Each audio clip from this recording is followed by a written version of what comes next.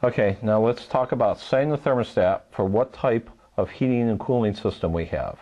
We've wired the thermostat, we've set the switches up so that we either have normal or heat pump. This one we have set for a normal system, and gas or electric. But now we have a little bit more work to do. So let's take and go down to the lower right key, which is the copy. It also says HVAC at the top. With the system in off, we go ahead and press it and hold it. The screen is now changed and it says 1, which is cool heat. That stands for a single stage heating and cooling. If we now press the plus key, we go to 2. These are all in your manual, also in a chart. The 2 has a little 2 by it, so that means that we have two stages of heat and one stage of cool. And if you notice it says fast recovery. Fast recovery means that we bring the temperature up very quickly to what we want, but it costs us a little bit more money. Let's go ahead and press the plus again. We go to 3. Now we notice that the number 2 is flashing. So that means we not only have two stages of heat, but we now are talking that we have two stages of cool.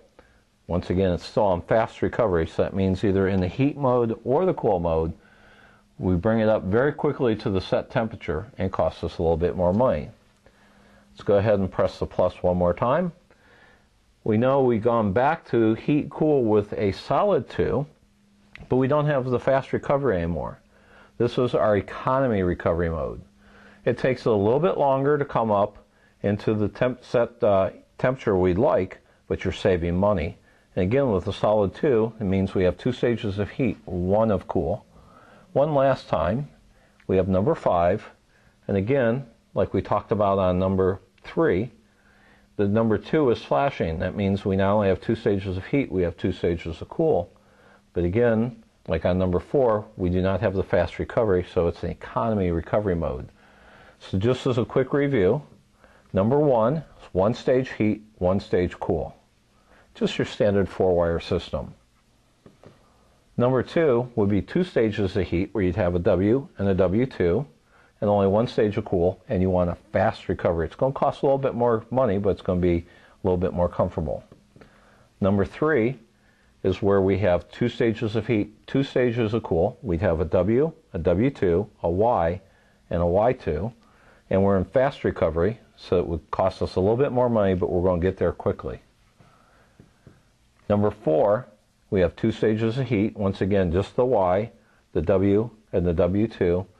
And we're in economy recovery. It's going to take us a little bit longer to get to that temperature, but we're going to save money.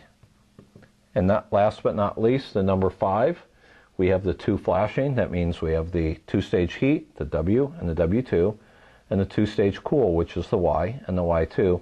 And we're in economy recovery now, so it's going to take a little bit longer, but we're going to save money.